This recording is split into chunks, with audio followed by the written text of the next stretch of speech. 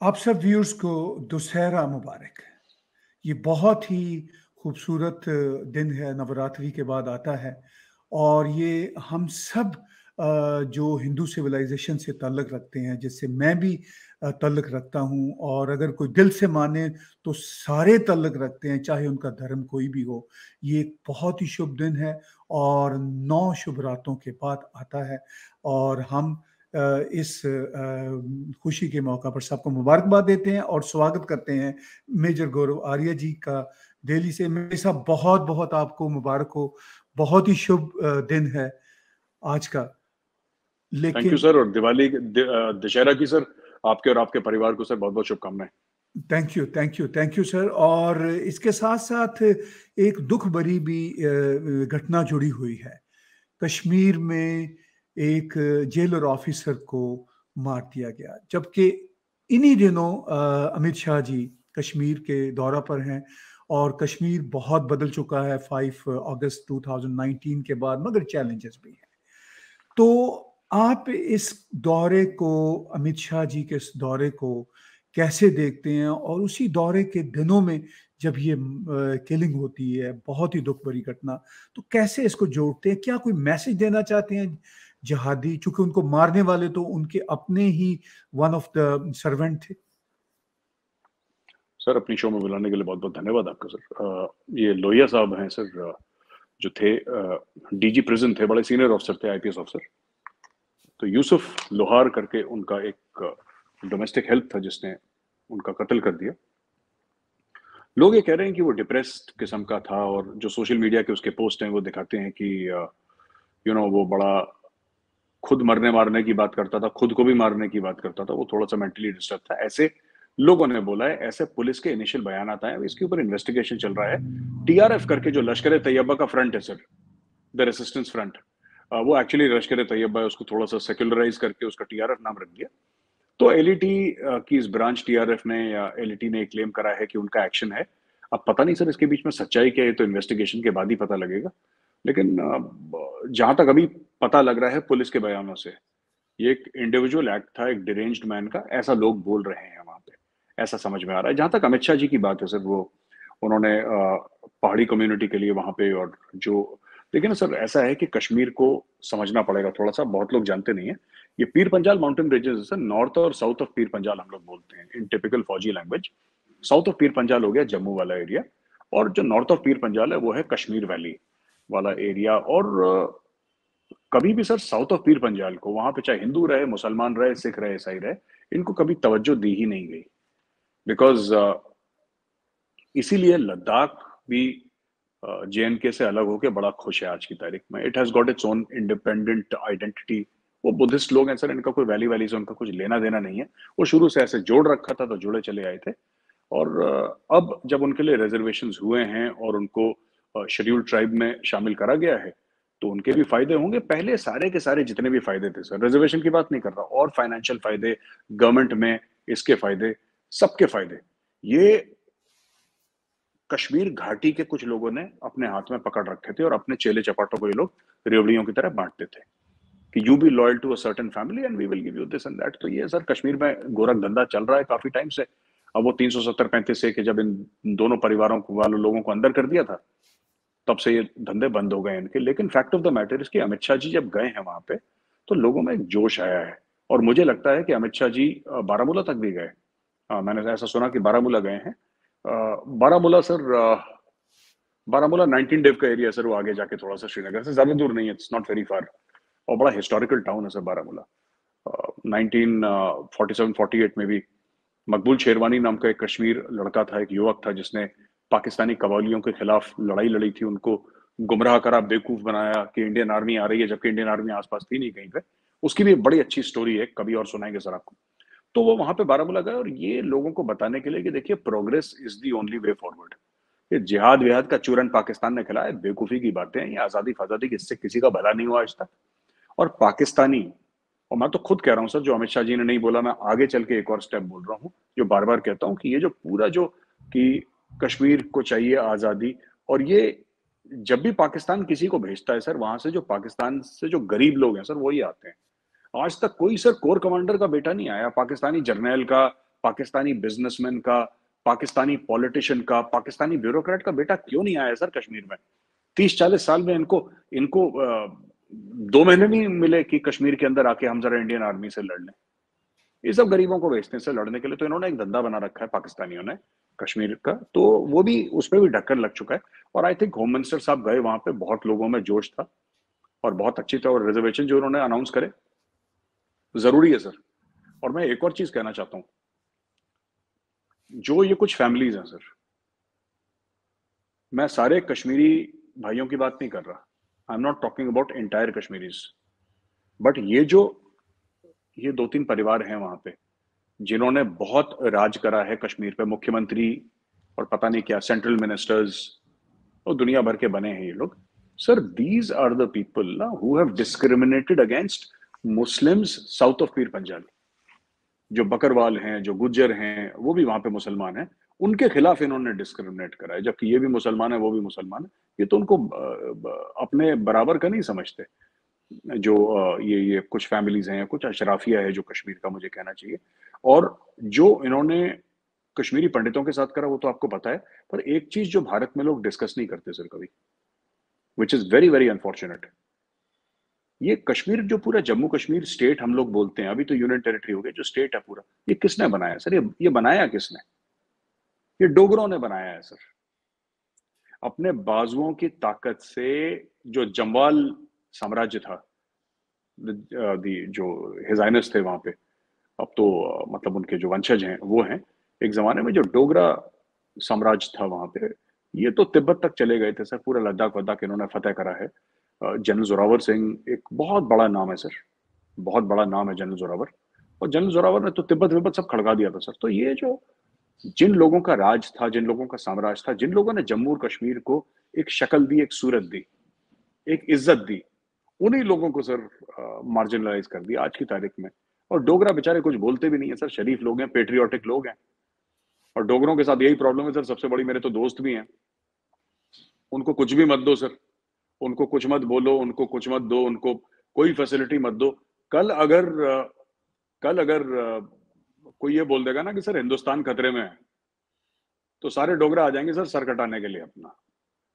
ये सारे के सारे। उनकी फितरत में यही है। हर एक घर में फौजी है, सर। तो वो डोगरों का है ये। डोगरों ने कभी कुछ मांगा नहीं।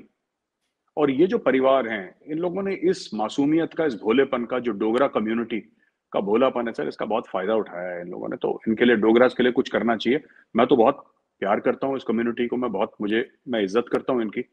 और मैं जब भी कभी जम्मू जाता हूँ, मैं मिल, मिलने की कोशिश करता हूँ लोगों से। और मैं चाहता हूँ कि, सर, डोगरों के लिए भी कुछ करा जाए, क्योंकि they are the people who made jail के सर। ये जेल के इन लोगों ने बनाया है। ये ये तो डकैत हैं ये लोग। दीज पीपल आर डकैट्स ये जो परिवार हैं, जो श्रीनगर में बैठते हैं, गुप्कार में। जो असली कश्मीर तो डोगरों ने बनाया है, सर। और आपने जिन लोगों ने कश्मीर बनाया, जो लोग लद्दाख तक क्या आगे तिब्बत तक चले गए, जिन्होंने सबको खड़का दिया, जिसने ऐसे, सर ब्रिगेडियर राजेंद्र सिंह जैसे शेर पैदा करे, जिन्होंने जनरल जोरावर जैसे शेर पैदा करे, आपने उस पूरी कम्युनिटी को आपने आइसोलेट कर दिया। आपने बोला, नहीं, तुम्हारी तो कोई वैल्यू नहीं है, अब हम राज करेंगे। उनको इग्नोर कर दिया, सर। तो ये ये ऐसे चोर चक्के बैठे हैं, सर, गुप्कार में तो।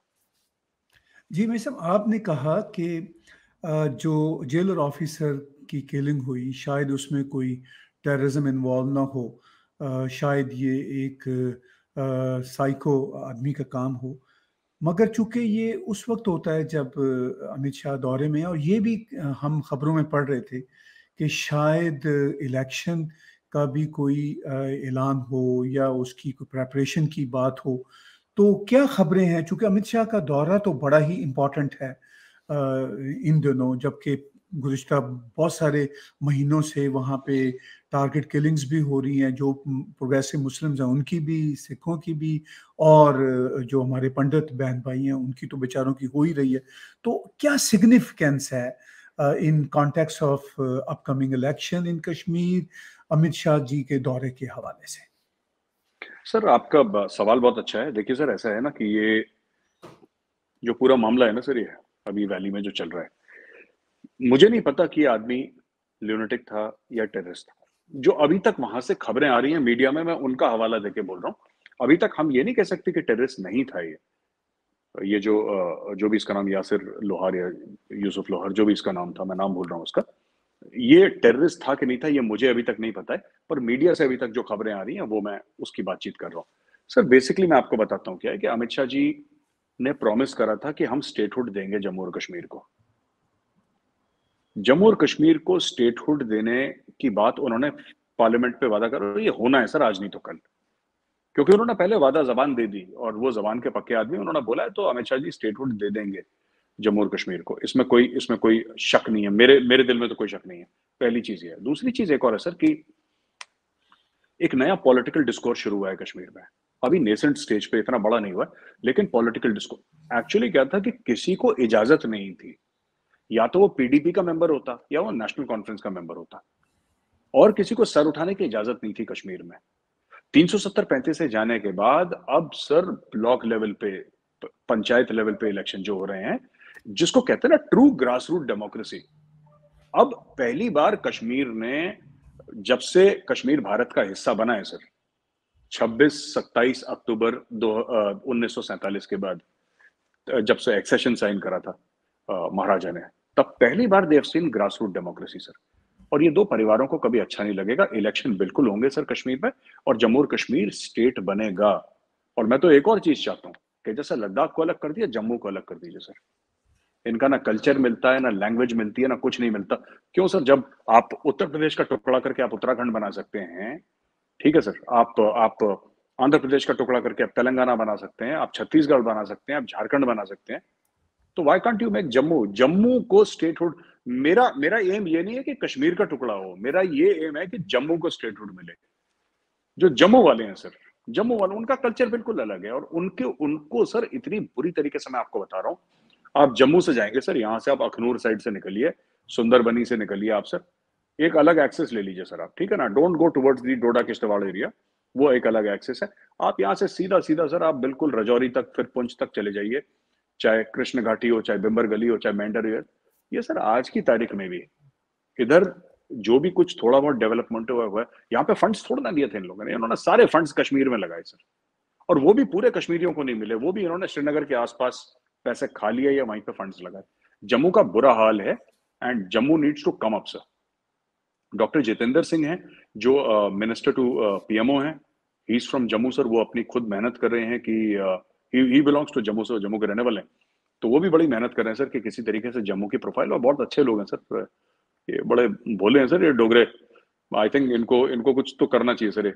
Brilliant people very nice people sir मैं तो मेरा मेरा बड़ा पैशन है, सर, कि डोगराज के लिए कुछ हो जाए तो I feel very very happy sir कुछ हो जाए। तो आपको हमेशा आने वाले दिनों में क्या दिखता है कि कश्मीर में जो इश्यूज़ हैं वो आप क्या समझते हैं कि काफ़ी कम हो सकते हैं अलग करने से जम्मू और कश्मीर को, या फिर कुछ और भी करना पड़ेगा सरकार को? क्योंकि जो पंडित बरादरी है, वो काफ़ी फ्रस्ट्रेटेड दिखती है। तो आपको फ्यूचर आने वाले दिनों में किस तरह दिख रहा है? सर, ऐसा है ना कि इसमें दो तीन चीज़ें हैं। मैं आपको बताता हूँ। इसमें जो पंडित बिरादरी फील कर रही है, वो गलत फील नहीं कर रही। Sir they are well within their rights to feel what they are feeling and there is a deep sense of insecurity मैं तो बार बार कह रहा हूँ, सर, कि देखिए, बात यह है कि जो अमित शाह जी ने शुरू करा है, वो बहुत अच्छी बात है। और अमित शाह जी कहते हैं कि तुम्हें जो भाषा समझ में आएगी, मैं वो भाषा बोलूँगा। तुम्हें प्यार की समझ में आती तो प्यार की समझो, मार की समझ में आती तो मार की समझो। मार in the sense not physical मार, बट जिसको जेल में डालना था, एक दो साल जेल में भी डाला उन्होंने। ऐसी बात नहीं है, पकड़ के। दो दो, तीन तीन एक्स चीफ मिनिस्टर जेल में थे एक साथ। किसी स्टेट में ऐसा नहीं हुआ। टाइट कर दिया। जब टाइट करना है to take a hard call they take a hard call sir sir, ऐसा है ना, जो कश्मीरी पंडित कम्युनिटी का है सर कहीं ना कहीं मैं अपने कश्मीरी भाई बहन को बड़े विनम्रता पूर्वक माफ़ी मांग के मैं एक और चीज़ कहना चाहता हूँ ना they have to take a stand and the government has to help them sir government को आम करना पड़ेगा सर पंडितों को। आप जब तक कश्मीरी पंडितों के हाथ में हथियार, ये मारते क्यों है कश्मीरी पंडितों को सर ये इसलिए मारते हैं क्योंकि उनके हाथ में हथियार नहीं है। ये जो सो कॉल्ड ये मुजाहिदीन हैं और सो कॉल्ड ये गाजी हैं और फलाने हैं, ढिमके हैं, ये निहत्तों पे वार करते हैं सर इनकी हिम्मत नहीं है। इनको बोलिए ना सर, राष्ट्रीय राइफल्स के, जरा राष्ट्रीय राइफल्स के एक पेट्रोल पे अटैक करके दिखाओ। हाथ लगा के दिखाओ किसी राष्ट्रीय राइफल्स के जवान को। इनका गला सूख जाएगा। सर आर आर का नाम सुनते हैं। इनके पेट में गुड़गुड़ होना शुरू हो जाती है जब राष्ट्रीय राइफल्स का पेट्रोल सामने से जाता है। तो देखेंगे, कोई पंडित अकेला है, उसको गोली मार के चले गए। Sir unless you arm the Pandits valley में नॉर्मल सी हो ही नहीं सकती, हो ही नहीं सकती। मैं आपको बता रहा हूँ, आप किस किस के घर के आगे, सर सिपाही लगाएँगे? अगर दस हज़ार कश्मीरी पंडित हैं तो आप सबके सामने क्या एक प्लाटून की गार्ड लगा देंगे? आप नहीं लगा सकते सर आप यू कैनॉट डू दैट आपके पास इतना मैन पावर नहीं, किसी अमेरिका के पास इतना मैन पावर नहीं चाइना के पास इतना मैन पावर नहीं है। और जब वो निकल के जाएगा बाज़ार तो कोई देख रहा होगा, उसको गोली मार के भाग जाएगा। आप किसको पकड़ेंगे सर जब तक कश्मीरी पंडितों के हाथ में आप, मैंने पहले भी एक बार बताया था सर किसी शो में, जब तक आप पंडितों को ए के फोर्टी सेवन और लेटेस्ट वेपन्स के साथ ट्रेनिंग नहीं देंगे जो कश्मीरी पंडित बच्चे हैं, सर, लड़के, लड़कियाँ, उनको आर्मी के कैंप में जाना चाहिए। Let them stay with the army घर नहीं जाओगे आप। आर्मी के साथ तीन महीने आप सख्त ट्रेनिंग करोगे, दिन और रात। फिजिकली और मेंटली फिट हो गए आप। वहीं पे खाना खाओ, वहीं पे सो, वहीं पे ट्रेनिंग करो। दिन में सोलह सोलह घंटे। हथियार चलाओ, हज़ारों गोलियाँ चलाओ, आपको पता होना चाहिए वेपन हैंडलिंग फिर उसके बाद every Kashmiri weapon every Kashmiri Pandit sir who is capable he should be arm sir फिर मैं देखता हूँ ये कितनी गोलियाँ चलाते हैं ये लश्कर वश्कर, जैश ये जितने भी आड़े टेढ़े नाम है ना सर इनके। Then I want to see कि इनमें कितनी, ये पंडितों को इसलिए मारते हैं ना क्योंकि इनके पास हथियार नहीं है, निहत्ते हैं। ये पुलिस वालों को क्यों, जेल के पुलिस वालों को क्यों मारते हैं सर? क्योंकि वो घर से कोई नमाज़ पढ़ने के लिए निकला तो उसकी पीठ पे गोली मार दी। That is what they do तो डरपोक लोग हैं। तो इनको ये कंट्रोल करना है। और वहाँ पे मुसलमान भी मारे गए वैली पे। और इनको भी जेन के पुलिस, कोई इनके लिए कॉलोनीज बिल्डअप होनी चाहिए सर जैसे आर्मी के कंटोनमेंट्स होते हैं, जेल के पुलिस के साथ, ये पता है क्या करते हैं सर? हम तो फिर भी ऑपरेशन करते हैं वापस अपनी कंटोनमेंट अपने सीओबी में चले जाते हैं। हमारा सेफ़ एरिया है। इनको तो जेन के पुलिस वालों को तो वहीं पे जाना है सर। गली मोहल्ले में रहना है। कुछ नहीं पता कि तीन घर छोड़ के कौन सा टेररिस्ट का घर है। वो नोज़ किसको क्या पता है? तो किसके ऊपर कब क्या एक्शन हो जाए? इसीलिए सर, सबसे बड़ी बात यही है कि वन मस्ट बी एक साथ ना निकले, एक साथ ही निकले, जब निकले, अकेले ना निकले, माफ़ कीजिएगा, ये इन अ ग्रुप निकले। ऑल द टाइम आर्म्ड रहे और इनकी जो सोसाइटी है, ये अलग से इनके लिए ज़मीन लेके वहाँ पे इनको रखा जाए कि बाहर ना रहे ये। इस तरीके से इनको करा जाए। फिर आप देखिए violence levels in the valley will come down और चौथी चीज़ है कि जो सोर्स है सर वायलेंस का, उस पर तवज्जो दी जाए। मुझे नहीं लगता कि हम उस पर तवज्जो दे रहे हैं। Source is Rawalpindi sir source is not Srinagar problem है श्रीनगर की है नहीं प्रॉब्लम है रावलपिंडी की तो वहाँ पर जरा फ़ोन वोन खड़का जरा एनएसए साहब हमारे तो उनको एनएसए की भाषा समझ में आ जाती है सर। फिर वो टाइट हो जाएँगे।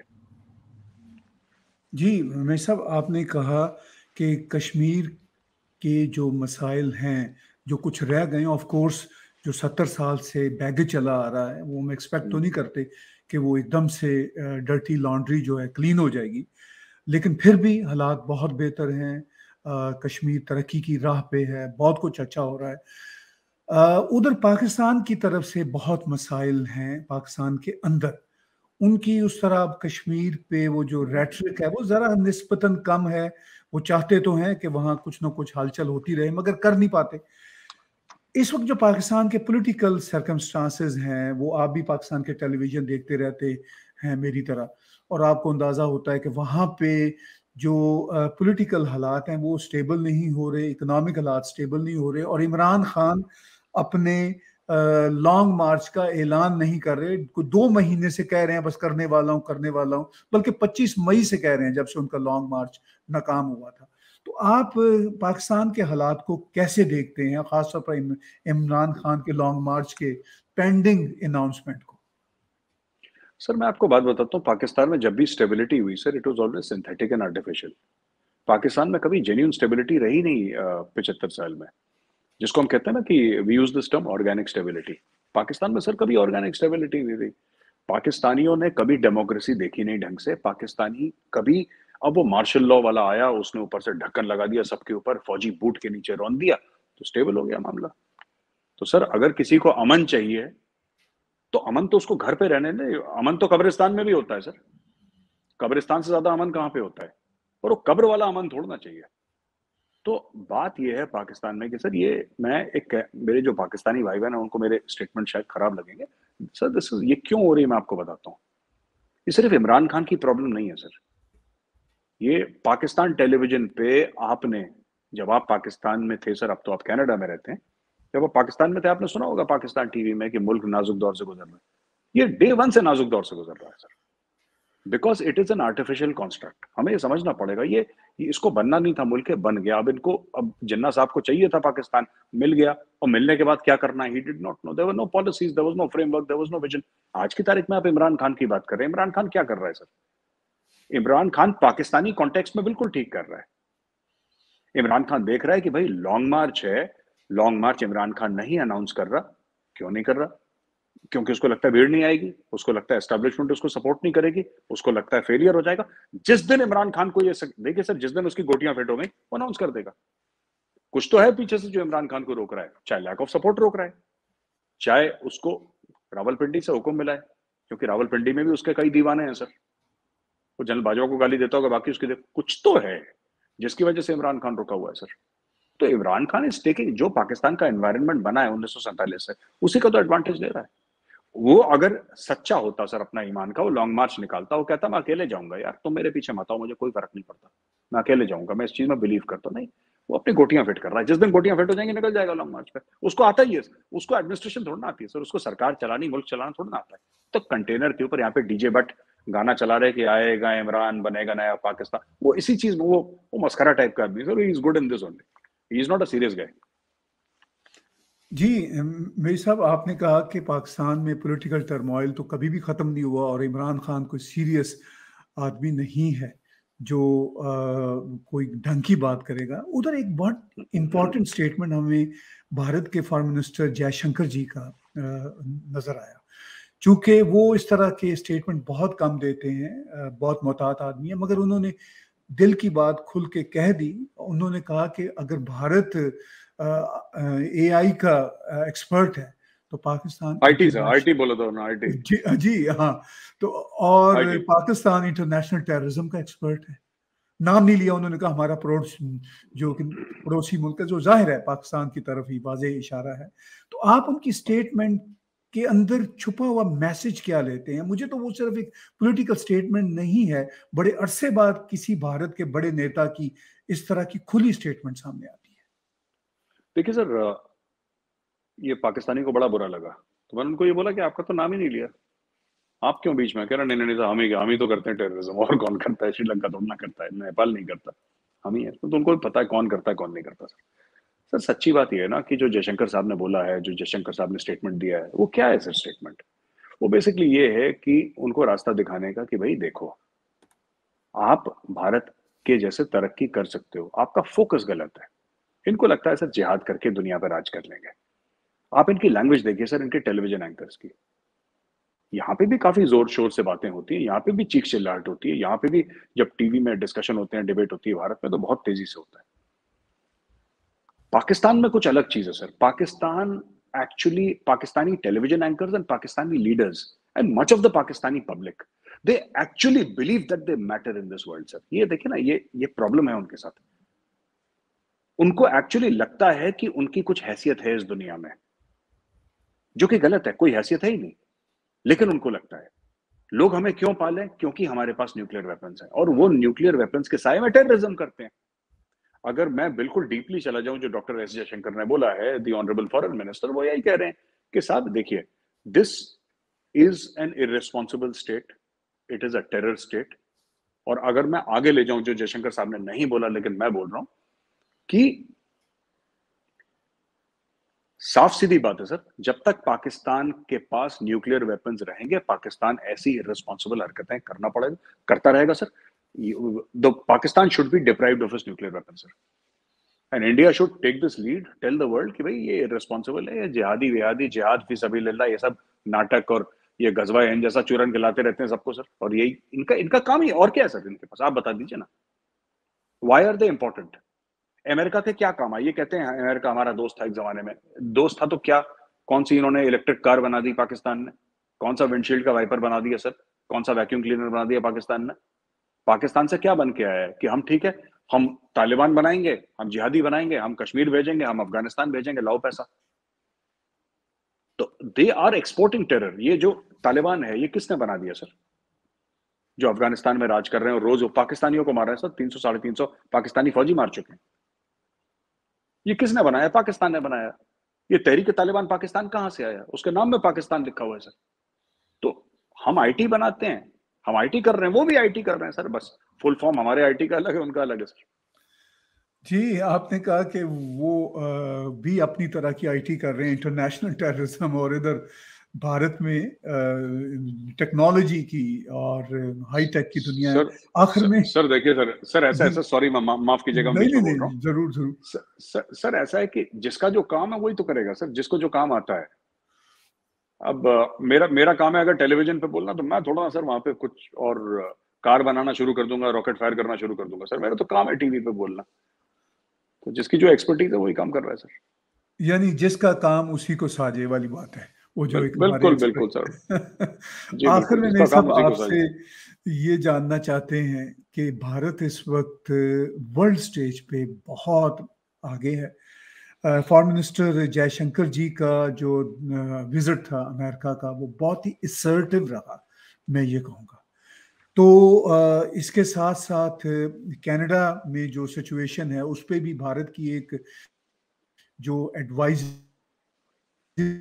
ट्रैवल एडवाइजरी आई वो भी बड़ी इंपॉर्टेंट है, चूँकि यहाँ पे भी तो ये रेफरेंडम की बात नहीं है। लेकिन जो इशू ये है कि वो सुरक्षा का है मसला, जो भारतीय नेशनल यहाँ आते हैं या जो भारतीय ओरिजिन के लोग हैं, उनका कंसर्न रहता है। मंदिरों में ग्राफिटी लिखी जाती है तो आप कैसे देखते हैं भारत की ट्रैवल एडवाइजरी टूवर्ड्स कनाडा और फिर कनाडा ने भी एक ट्रैवल एडवाइजरी दी कि कैनेडियन सिटीजन कश्मीर के आसपास ना जाएँ पाकिस्तानी बॉर्डर्स के आसपास ना जाएँ। तो आखिर में सूरत हाल पे थोड़ी सी ज़रूर रोशनी डालिए। सर, ऐसा है ना कि ये तो कनाडा की ज़िम्मेदारी है कि कोई इंडियन आएगा, कोई हिंदू आएगा, कोई भी आएगा तो उसका आपको प्रोटेक्ट करना ये तो कनाडा की ज़िम्मेदारी है।